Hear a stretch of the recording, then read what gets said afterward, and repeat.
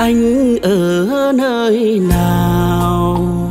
Cố trả tiền em đi anh.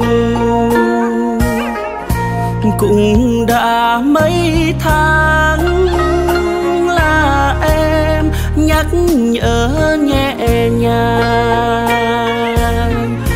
Anh bảo hai tuần, thế xong chuồn mất tích số cũng thuê bao, chẳng biết nơi nào.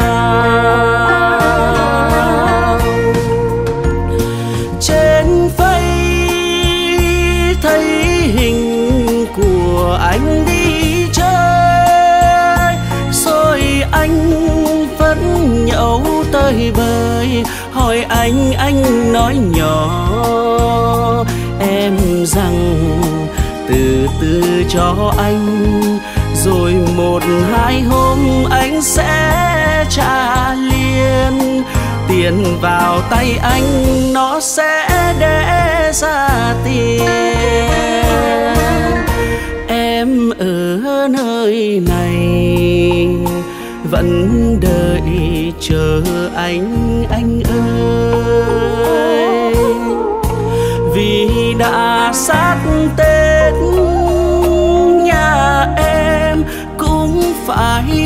tiên.